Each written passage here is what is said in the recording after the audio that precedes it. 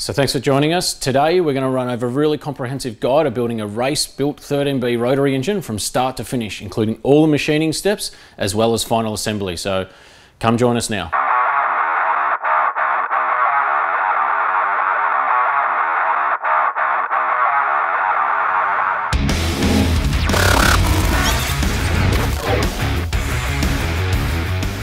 I'm going to take pity on this poor little keg here and uh, pull it out. We picked up a few things that we want to look at, give some more attention to. So that rear plate's got a little nick on it. We want to step up this engine. We want to go to a semi PP. So we're going to get some new housings and we'll give it the semi PP treatment. So stand by for Project Redline 2.0. So we've obviously got everything laid out here, but before we get to this step to building the engine, there's a lot of steps that go on before that. So such as uh, machining these rotors and the assembly of the rotors, prepping, porting and uh, painting of all the engine components here, measuring the journals and the crank as well as uh, inside the rotors and the stationary gears. We've got to set, make sure we set top dead center timing and then we've got a whole heap of tools here which you may or may not have seen before. So what we're going to do is first of all before we get building the engine, run over some of these tools that we use and how we get to the point right here um, so if you want to do it at home, you'll be able to. There's a lot of machinery, a lot of expensive machinery that I use here, which is why a lot of people take these engines to professionals to get built. But we're going to show you how we do it here. And let's take a final look at some of the stuff we've got on the bench right now. All right, so one of the first things I do uh, before I start building an engine is uh, using this tool here, which is a top dead center um, check fixture. Uh, it's from Extreme Rotaries. And what it does is it, it locks the eccentric shaft uh, in place on the front iron and then you can get your pulley, mount your pulley to the front and with the timing cover there's a, there's a marking pointer for timing here. So what happens is with the, with the shaft in the engine mounted, this will spin around here and you can see I've already put a, a fair mark in there. I know because I've already used this tool that that mark right there is actually true top dead center for this engine. Now there's different pulleys and different marks. You can see it's going to be hard to see, but there's a mark there and another mark there. They're the factory marks. There's no guarantee that those marks are spot on for every engine uh, whenever you're changing parts and that. So one of the biggest things with uh, rotors at timing is, you know, too little timing could lead to high EGTs and, and down on horsepower. Too much timing could lead to, you know, the engine blowing up as well too. So timing is really, really critical rotor engines. So I use this always with every engine I build to properly dial in true top dead center. So I know when you go to tune the engine that everything is right there. So next part I move along to, especially when I'm disassembling engines and then reassembling is an inside and an outside micrometer. So what these do is this can go in here or in here and measures the, the ID of the bearing and that corresponds to the dimensions here. So the difference between uh, this dimension and say this dimension in here is your bearing clearance. Now that's important because in race engines, um, different depending on the grade of oil you're using, but also for clearance reasons, if you're running higher oil pressure, you may want a higher clearance here. So we measure these surfaces uh, corresponding with the bearings in the, in the rotor and the stationary gear, and that will give us our overall bearing clearance.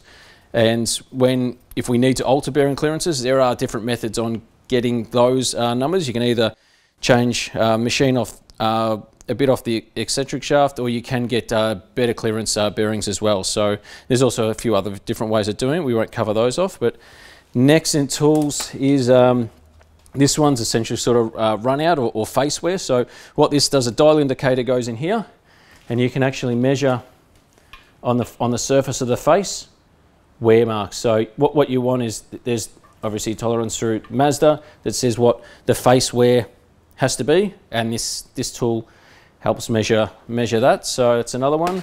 Um, this is one I use for measuring apex seal width. So obviously the apex seal fits in in here uh, and I'll just grab uh, obviously the apex seal is already engine I'll just grab an older one because uh, I do have one in here but sometimes when you get apex seals they're not always know, it's a it's a it's a large process and it may not they may not be exactly spot on so if we use this tool here um, you can see that fits in there perfectly Oop, and I just dropped the corner piece but that's um, that's how I measure that. And if, they, if it doesn't fit in there, then it's just a simple case of machining it on, on something like this, on a, on a block, and getting it down to the right tolerance. So there's that. um, we've got our water um, pressure tester system. So this bolts onto the front iron and uh, just a normal sort of Schrader valve here. We pump air pressure into about say 15 to 20 psi. We leave it, leave it for half an hour, an hour, and we check for pressure drop. If there's no pressure drop, then it's good to go. Put it in the car, send it to the customer. If there is pressure drop, then well, you've got a problem and you have to chase it. So it could be water seals not sealing somewhere, you've pinched one or an O-ring or something, or somewhere else is leaking on the system and just you need to find it. But that's a perfect one if you're going to give a customer an engine to make sure you do the simple checks before it goes out the door.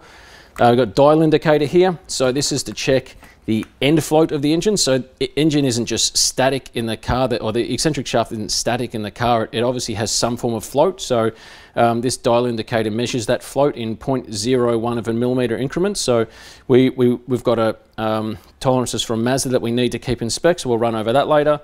And then of course we've got standard tools such as um, we've got two different torque wrenches. Uh, so one for you know larger torque settings for 40 plus um, newton meters and this one's for the smaller bolts, so the like the M6 sort of bolts.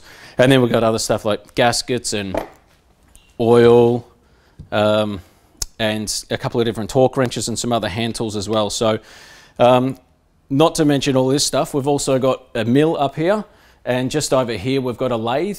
Uh, these are two really expensive tools, and this is the kind of stuff that um, a lot of people, if you are looking to do stuff yourself, you're probably going to have to send stuff this stuff out to get done because these machines aren't cheap at all. So, um, but that's pretty much it for the machinery. Uh, let's take a closer look at how we can put all this into action and start uh, machining this engine so it's ready for assembly. So studding the engine, uh, it involves screwing studs in here that go all the way through the engine. So they'll go all the way through here and all the way through these plates and then come out the back here. And then a stud and clamps just clamps that whole engine up together. So what we need to do is drill a hole all the way through that that that that that's that's half inch uh, diameter and to and it needs to be perfectly spot on. So obviously we're drilling a half inch hole and it's a half inch stud. The tolerances are really, really, really tight. If you've got, you know, the guys with CNCs and that will do it easily. They press a button on the machine and it gets done. But how can you do it at home with, say, a drill press or in my case I've got a mill. Uh, the mill makes it a bit easier than a drill press, but you can still do it. Um, what I do is my two tools essentially, or most of the tools are this. So the thread in here is M10 by 1.0. Uh, it's very, very fine thread. Uh, so I've got, what I've got here is a tap. And, and what I'm going to do with that is I'm going to move the machine head down into position. So this isn't bolted on now, it's not clamping in place. You can see it's actually, it moved the plate over to where it wants to be. What's happening is that's threaded in there. And it's, so it's picking up the plate. So I know that that is perfectly locked on in that thread. Uh, and what that means is that it's now, this whole column is completely centered on that hole. Tighten this down to, uh, uh, that's fine. You can see now it's not moving. It's actually, I always have the collar in there really loose and as you can see there it's trying to pull the collar out. So uh, all I'm going to do now is just unthread it. I've pretty much drilled all the holes, so all, all you'll see me doing is the final reaming process now, so I will run this through, but you'll see we stack up this sandwich basically here now, one, two, three, four, uh, five all the way up to the top, and we'll run the reamer through each one. So we'll run through that now. Just before we get started, it's September here in Melbourne, and I know it's sometimes cold down here, but look at that. What a joke. Feels like 0.9, feels every bit of that too. Uh, it's tough life out here in the garage sometimes.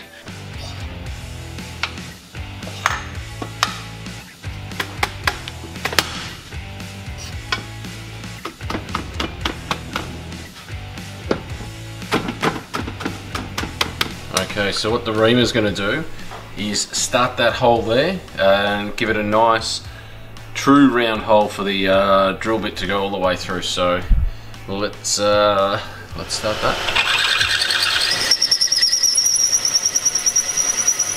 You can see there's no deflection in the bit at all.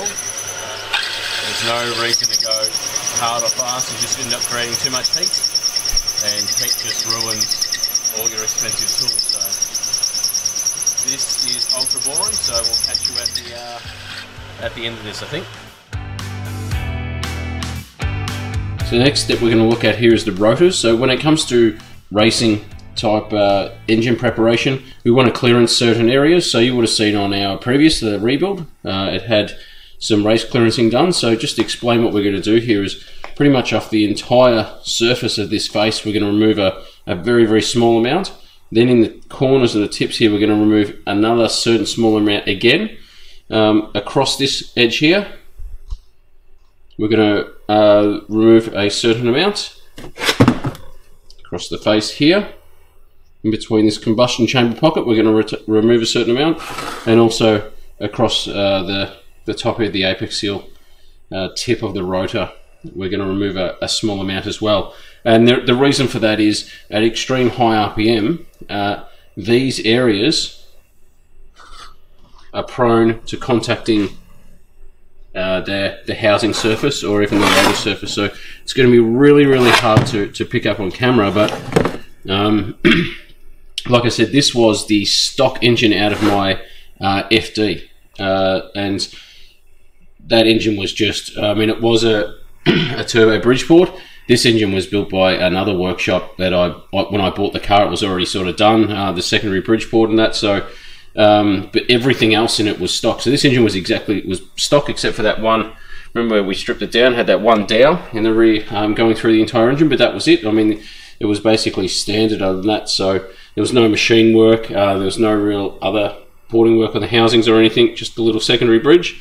Uh, but yeah, no no race clearancing or machining in that. And you can just see here, you can see what looks like a light light machining marks, and that's more than likely because that surface has become has come in contact uh, with the housings, perhaps uh, the the the plate. Sorry, um, because it's the only it's the only sort of wear mark I can see all, across uh, the face. So these engines obviously designed to rev. You know they really don't like revving to nine and a half thousand RPM and then banging off the rev limiter, which I did a few times in this thing. So bit of clearancing will sort that out, and that's what we're going to do uh, now today. Okay, so we've got to set up in the lathe here. What I'm doing now is just got a dial indicator on the face I just want to make sure what the run out is. So it's pretty, it's basically better than uh, 0.01 of a millimeter. So uh, that is exactly squared up in there, so that's great. So next step is this tool here, which is like a carbide cutter. Um, we can bring this hole, use the handle, bring it in. So this will spin around and then um, we can take a certain amount off the face. So let's do some of that now.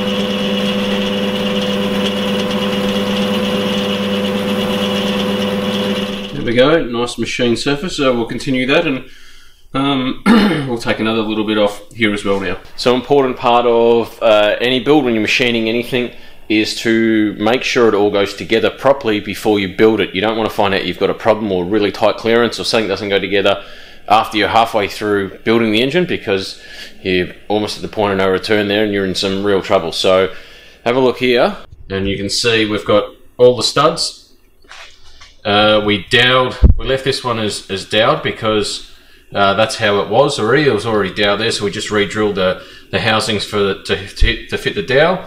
But all these studs now are bottomed out, they're going perfectly, so at least we know that's done. Uh, next part, as you can see, it's obviously filthy. Um, next part is to give it a bath, and then we'll paint it. So next part is paint. Um, not really fussed that much about paint and paint schemes. Some people are really, really particular when it comes to what colour their engine is. Um, they spend more time talking about how they want it painted than anything else. Um, and fantastic if, if that's what um, floats your boat, no problems. Uh, a lot of people build a lot of very nice cars that obviously got colour schemes and things like that, no problems. I'm more than likely going to paint this thing black. A helper here. All right. What are you going to use to clean it then? I'm going to do this. All right. How do we do it? Yeah, like this. Oh, how do we do this? Yeah.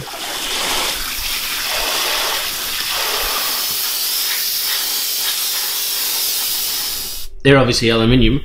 these are steel, and there's machine liners and stuff here too. So the faces of these, and also the irons and that, if once you use a chemical to clean them off, uh, and they're completely um, I mean, these ones have still got a little bit of residual paint on it, but if these were flat irons and brand new, what you'll see is you can almost see here a little bit of surface rust starts straight away. So always pr- spray the, the face surface of the plates with um, some form of anti corrosion uh, inhibitor. Uh, even, I mean, the rust can start just from the atmosphere, the water in the atmosphere. So um, just because they're dry doesn't mean they won't rust if they're completely naked and bare uh, surfaces. So um, little tip, just uh, spray. I always spray all the oiling and bearing sort of surfaces to the oil passages, so there's no rust uh, possible getting in there either. Even coats. Same thing. Let's just gun it on. Get some colour on there. So obviously one of the last parts before building the engine means making sure that all the uh, little seals and whatnot are right marked up to spec and all the all, all tolerances are correct. Side seals are one of the things that will need to be machined uh, to length quite a lot because they do come. Uh, the power seal ones uh, an oversize, so you can make them fit, so you can do your own own spec uh, tolerance the way you want it. This is the rig that I use to to do that. Uh, it's very simple. Just get a side seal in here, and just, it just gets fed in there machines away and bring it out. And it just machines that machines that away there to the right tolerance then put it in the rotor uh, one of the good rotors. It's just sitting under here now. This mic gauge can you see that? 2000 so use that and once that can actually finally pass through the gap then we're good to go and we've got to do that 12 times. So we've got to do that to all these side seals here. Once that's done I'll move on to other stuff like measuring the bearing tolerances, uh, housing width, apex seal width, and all that kind of stuff. And yeah, that'll be about it. Then it's finally time to assemble. Okay, so it's pre-assembly time, which means I'm going to put those O-rings in those cases, put those springs in these rotors, and also assemble all this stuff here. So these have been individually machined to the exact tolerances here. So you can see here says three rear. Here we've got rear three and rear three. The G means gear side. So I know that this exact side, so this one right here, goes right there because every every single groove may be just slightly different. So you've got to do this, otherwise, you know, tight tight tolerances. I mean, you know, two thous is difference between 2,000 and 5,000 can mean, you know, quite a fair few compression points. So, got to get it all spot on. This is how I do it, set it all out, and time to assemble basically everything there. So, time to get the massive tub of Vaso. So, after oil control uh, O rings are installed there, it's time to install the springs first. Uh, you may or may not have color paint on uh, your oil controlling springs, so you may have white and black. If you do have white and black, uh, white and black, sorry, if you may have white and blue. Uh, if you have white and blue uh, and then new springs, it makes it a bit easier to install. White goes to the front of the rotor, so not the gear side, um, the front. So this is the front rotor. So this makes this the front of the rotor. This is the rear rotor. This is the front of the rear rotor. Okay, so the engine's rotating uh, this way. So it's very important that these springs are installed in the right on the correct side because if not, the spring won't be able to seat in the little groove. So just give you a bit tough to see this. There's a little divot right here. If you don't have any um, any paint at all on, on the spring, it's it's pretty easy in the end to find out uh, what size what side these go in because if we drop that spring in there and try and drag it around now if you imagine the rotors are rotating this way, the seal's actually trying to pull on it the other way, putting on force, and you see it doesn't move in that groove. Now if I put the wrong seal in here, which I will now, which is one of these ones, if we can get it out of the pack, here we go. Uh, and we do the same force, you see it spins. Which will mean they won't seal properly and it's definitely no good. So definitely get that right. Uh, easy, easy, easy one for people who don't have any experience with rotaries uh, to get it wrong. Uh, but yeah, if, if the springs have the blue and the white paint, I'd definitely try and get those ones if this is something you haven't done before because you, you can't make a mistake then. The front of the front rotor, front of the rear rotor, white, rear of the front rotor, rear of the rear rotor, blue. Time to throw these in here now. Okay, building an engine with one hand. Oh, this shit ain't easy. This inner spring is much easier to get in than the outer, uh, generally, so I'll be putting the camera down now and uh, putting that rear in with two hands.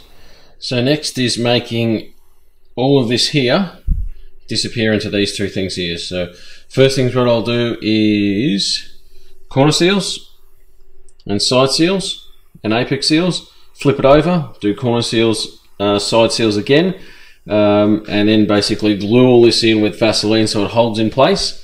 And then I'll do the same thing with the rear rotor. Yeah, when we drop them in, the only thing that won't go in here are the Apex Seal springs. So they don't go in until you install them in the engine because obviously if these were in here, the Apex Seals would just spring straight out of there. So we'll install all of this except for this here right now.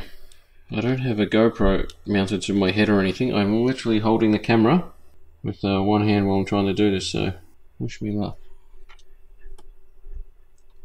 I can tell you right now, it's bloody easy. Also, you can see here that it looks like it's two parts there. That's because it is. Uh, when the engine, as soon as the engine basically turns over, this part will snap off from here. Uh, what I'm going to do is install it this way. So I want the little piece that snaps off uh, down the end facing up, essentially, when I install it, just in case it does break off. Because if it breaks off and it's down on this, and remember this is the front plate here, because it's the front of the engine, um, going to be very hard to recover that without lifting out the whole rotor. So what I'm going to do is just install that here now. Like so. Okay, corner seals, side seals, oil control rings, steels, and apex seals are in. Uh, next step is, quite honestly, to Vaseline the living Christ out of everything so it doesn't move. So into the tub we go. Get it in there. There we go. Now, this isn't so much for initial startup lubrication. It is more to, if anything, to glue the parts in place so they don't fall out when I tip the rotor upside down. Because obviously I've done one side here, but I still need to do uh, the other side. If you don't want 800 gallons of Vaseline in, in your engine on start, then I mean, it's easy. Just as just before you install the rotors, if you want to just remove some of this, go for it. But whatever, it's just um, I mean it's petroleum jelly, Vaseline by its um, trade name, but yeah, petroleum jelly, petroleum based sort of oil products, so it just burns off. No dramas. Leaving it in all here, you just get a bit of a smoke show. You know, all gets hot, melts, goes in the oil, do an oil change, all comes out. It's fine. Okay, so if you're at this point, this bench should look like this. If there is any other seals or springs left over, guess what? Uh-oh, time to pull those apart and double check everything. Yeah, Apex Seal springs of all you should be left. We're pretty much at the point now where it's time to assemble the engine now. Only thing I haven't run over is rotor weight uh, and bearing clearances. Uh, I've written the bearing clearances just here for you. You can work out your own bearing clearances. That stuff's readily available all over the internet.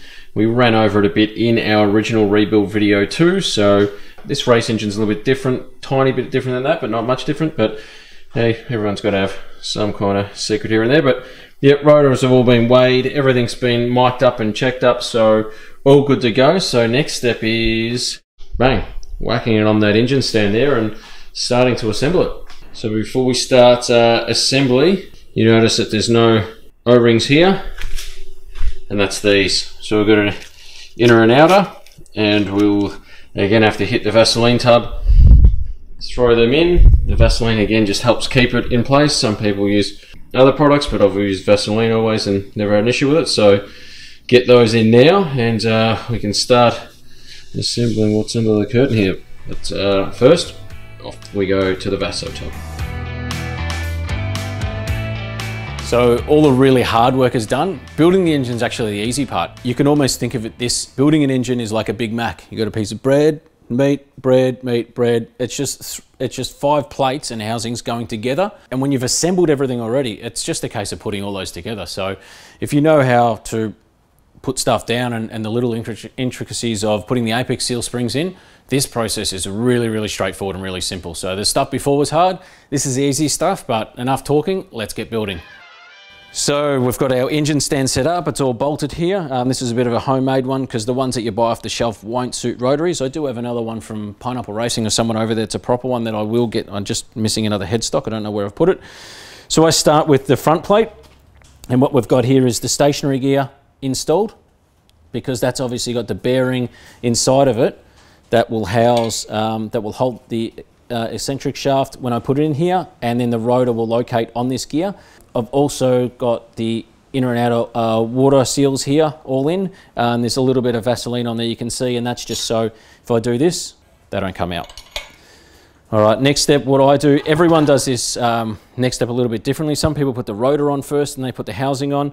Um, I've always put the housing on first myself. So before I do that but, uh, I just need to, th these, these legs here obviously um, this is oil, so this is the oil pan. This, this leg here is where the oil pan bolts on. So oil can splash up here. If you don't have any sealant or anything here, there is a, there is a chance that oil can leak past there. So we'll just put a, a thin smear of RTV here. You don't need to go ultra serious or anything.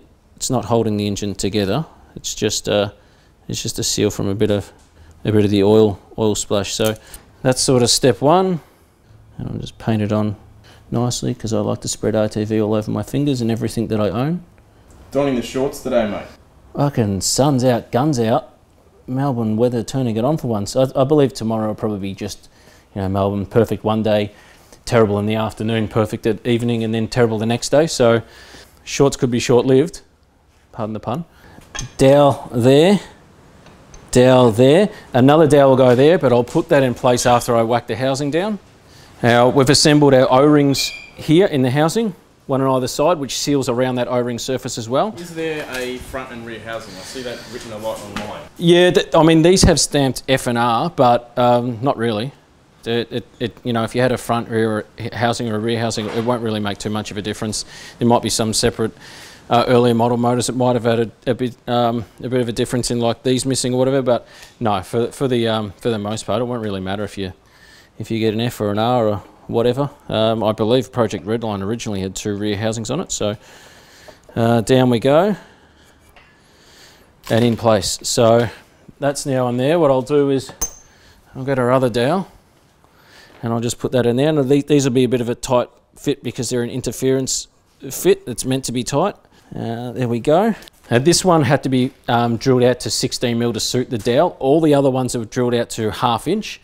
Uh, and the reason for that is this was already uh, drilled out to a dowel so that it was recessed in the center plate so that the factory through bolt um, is only so long. This actually uses a super long bolt called, um, which people in, in, the industry traditionally call an M bolt because there's an M Mazda logo stamped on it. We'll see that later on. And because the thread had been, or the, the plate had been recessed here, the new the um, Power Seal half inch stud kit won't sit in that hole properly. So if you've got a dowelled engine and you're looking to run the bigger half inch studs, you probably won't be able to run them if you're using, um, if you're using these dowels. So next step is what I want to do is uh, throw the rotor in. So there is no right way or wrong way or wrong location to put this in. Essentially, this is front, the gear is here, the gear is obviously there. So it's just a case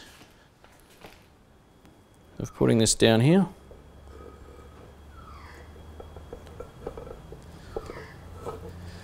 And it will just locate on the gear like that. So, so you can. Now we, now we need to, more importantly, we need to stop and take the thumbnail photo for this video.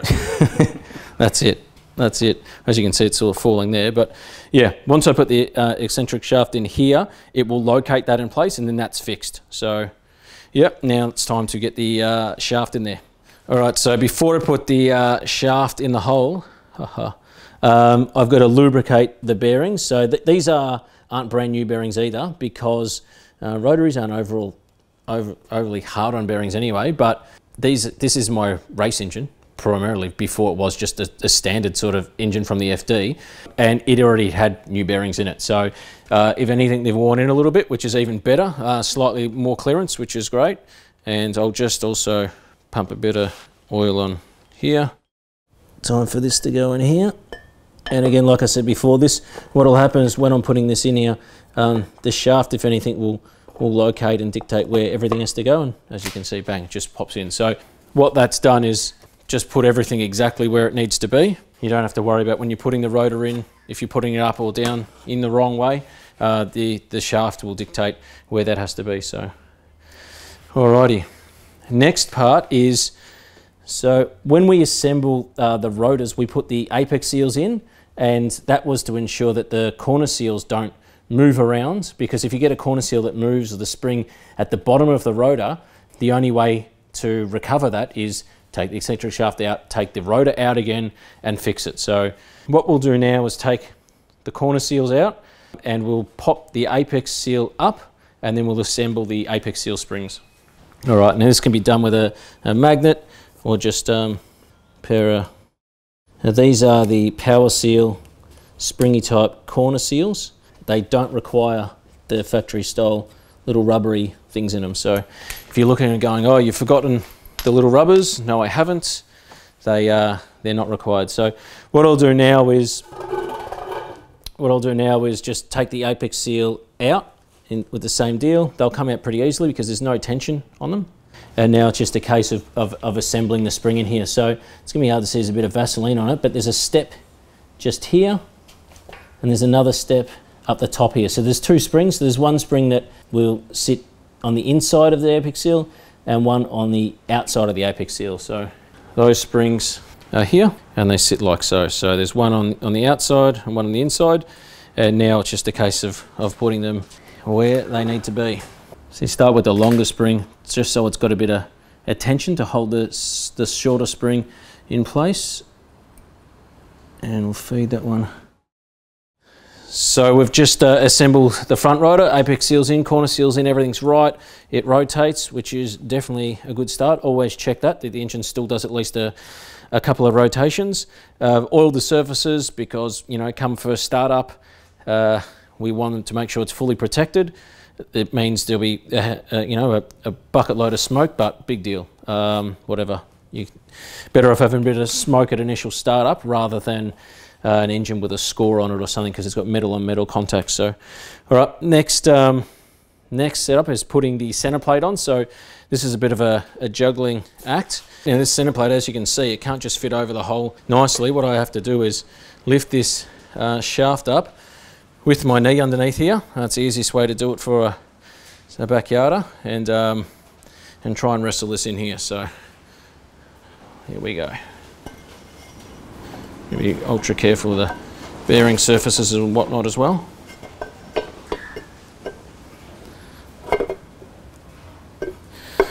There we go. Don't trap your fingers in there either, and try not to get all the. Uh, so you've done that first go.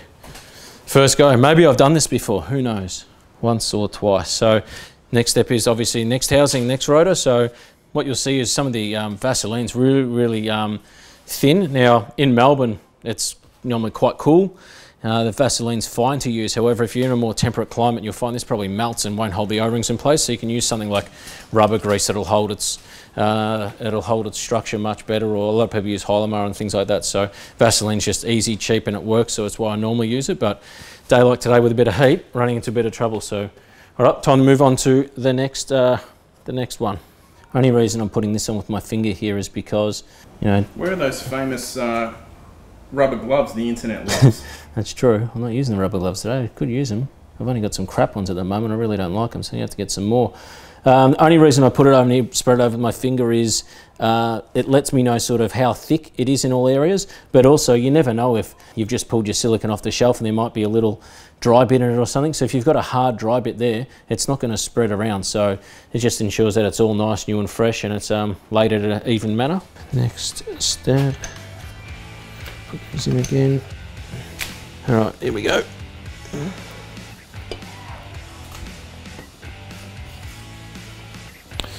That's that, and now this one Go in. There we go. That's all in place. No pinched O-rings. It's great. Uh, now we drop the rotor in. So same as before. This will be the gear side is up this time because the gear will be on on the rear. So this is this face down. We'll just plonk it in now. And just like before as well, there is only one possible way that this can go on. So you're just doing that, bit of back and forward, and down it sits. I can see these sitting a bit proud. Go down, bastards. Next step is exactly what we did on the front on the front rotor. It's just a case of taking out the um, these corner seals and then putting the apex seal springs in there.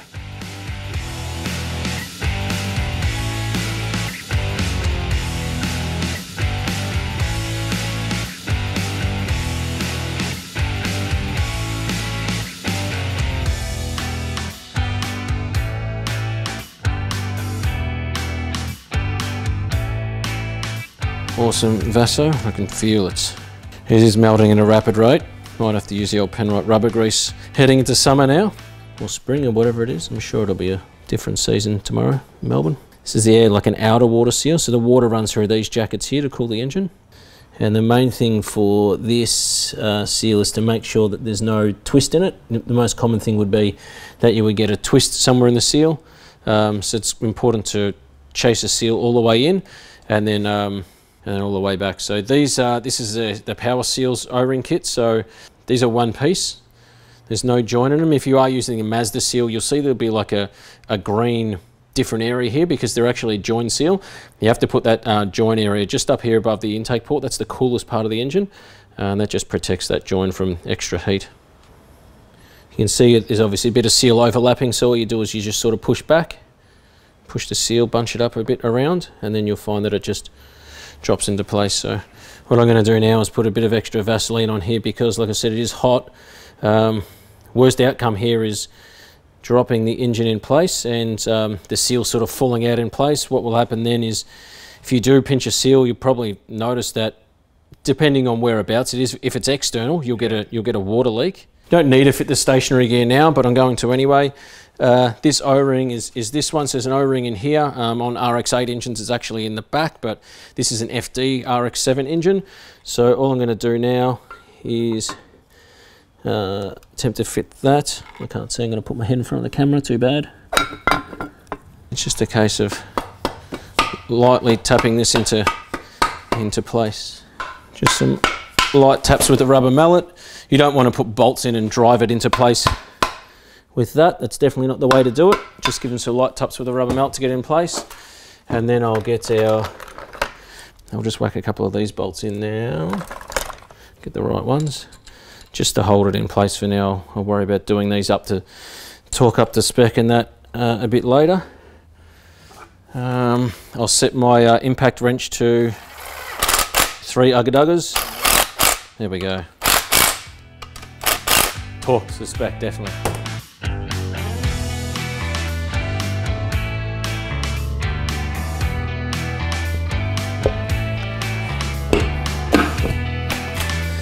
There we go, bang.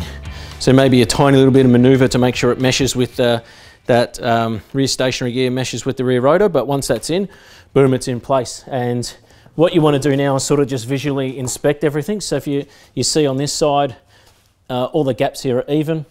You can see in, in these surfaces here where the oil can get out, there's some um, RTV poking through, so that's great. So next step is to put all these through bolts through. So as you can see, we machined all these holes. Um, what I'll do now is, just for the sake of the video, I'll, I'll number all these in, for the torque sequence, and then we'll put all the, I'll, you'll come back then, all through bolts will be through, and we'll torque them up. So next part of tying this big sandwich together are the through bolts. So we've got some here, we mentioned it before about that M bolt. So there's the, the Mazda logo M stamped on it. These ones are much longer. They're found in, in all rotary engines on the outside. Uh, but we'll be using this one for the dowel bolt as well. So we'll keep that one aside. So we'll use two of these M bolts, uh, but the rest of the bolts will actually be studs. So these are Power Seal half inch stud. They actually utilize a factory um, M10 by 1.0 uh, thread up here. So you don't need to um, have the block all machined and tapped out at the, at the front plate. but they're a much bigger half inch unit here with a, I think this is a UN, looks like a UNF um, thread up here, half inch UNF. So we'll put these in now. So what we've had to do is, as you saw, machine this block out. So what that then does is, is get pretty tight tolerance and they bottom out and then we have to do these up. So they'll do up and then once you see sort of the shoulder of the bolt disappear, um, means it's pretty much torqued down into where it's got to be. The torque load isn't on the thread that's in the block. The torque load will be once the, once the bolt clamps the stud and pulls the stud up and everything in. So um, we just need to snug this in place. So the point of, of the, the shoulder of that um, stud there is below the line of that and then we're good to go. So we've got to do that another well, 18 times or 17 times for the other 17 bolts here and then we'll be ready to whack the nuts on and, and do that too. So normally um, what would happen is these bolts would have an O-ring. So um, tension bolts have this little O-ring to seal it in place. Now because these factory um, tension O-rings, tension bolt O-rings are only for this M10 um, threaded stud, or bolt I should say, this won't fit this. So what we actually have to do is put RTV around here and then put the bolt on in place. So it may look like, you know, a bit messy or a bit of a, a backyard sort of operation because it's just using RTV, but it works really well and, and you'd be surprised how many um, workshops actually run with that process. So we'll get all this done now and then, um, yeah, we'll get on to that.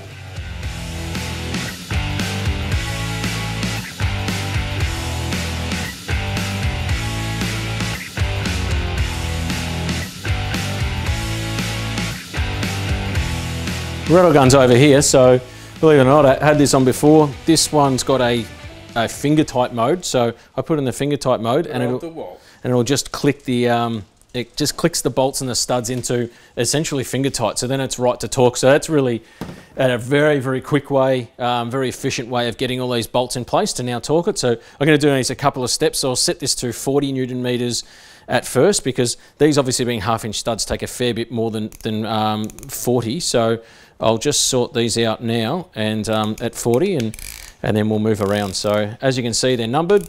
We'll just go through that process now. What you'll find the first couple that you do, it really pulls the engine together. Um, I can probably get the old DeWalt gun out and finger tighten a fair bit more after this.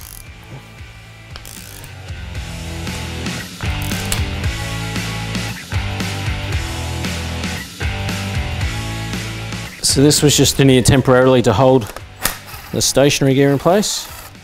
So we'll move this now and start the assembly of the front of the engine. The last thing we do, um, before we put the front cover and all that on, we have to set the end float. So um, the amount that the eccentric shaft moves back and forward in this engine is called uh, the end float and we set that um, using different spaces such as this one here. This one is, can barely sort of read that, but it's got a D stamped stamp there. And there's all different letters which relate to a different thickness of the spacer which relate to how it can move up and down. So it's really important when you are assembling the engine or when it's apart that if you were to take this hub nut off that hub nut puts the load against this whole assembly here if you were to take that nut off the load comes off and these Torrington bearings can drop down, move out of place. If that happens, you retorque your engine back, that's it, it's, it's done. Or this bearing will be ruined and you'll be taking the whole lot out again. So be very, very careful when you're doing that. Next is just to assemble the rest of this front stack. Doesn't really matter what order it's all in because it's all coming apart again shortly. All right, so we're just going to check the end float here. Uh, there's a couple of different size spaces you can put in to correct this. Uh, what we're looking for is 0.04 to 0.07 of a millimeter. Um, we'll check that now on here. So you can see the dial indicator currently right on zero. And if we put some light pressure and lift it up, you can see that's basically 0.045 of a millimeter. So that's correctly uh, within spec. So we can disassemble this front half now and then um, reassemble this with the oil pump and then put the timing cover on and then put the uh, front pulley back on. Got the pump all assembled in one piece, got the chain on, and without the, key in here, we'll just put this in place, drop it on in, and that's the easiest way to assemble the, uh, the oil pump. So there is slack this, this isn't like a timing chain for a, uh, a V8 or something where, you know, that a little bit of slack there is is totally unacceptable. It's, it's pretty normal to have a little bit of slack there. So just tighten these all, all pump bolts up now and uh, carry on.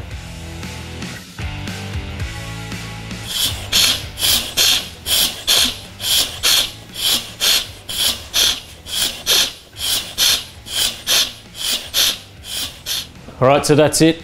Assembly part really easy, machinery part pretty detailed and difficult if you don't know what you're doing, but hopefully this video gives you a better idea of uh, what your engine builder, if you have the engine builder, goes through and why prices may be at the, where, where they're at because this is a lot of time invested in this engine leading up to the point we're building it. So the building part, as you can see, doesn't take that long. All the machinery part takes a long, long time. So it's all done now. Uh, next step is to put it in the car. So it hasn't got the oil pan on it yet.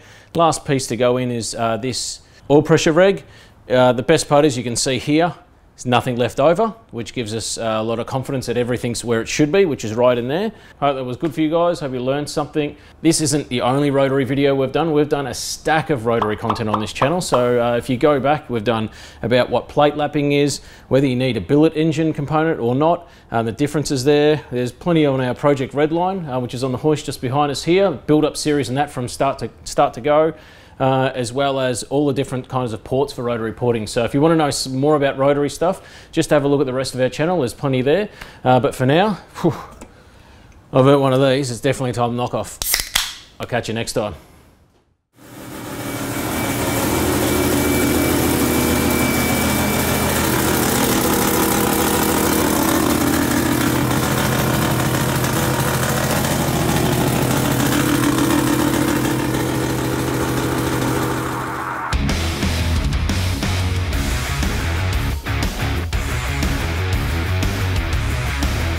And like always, support the people who support us.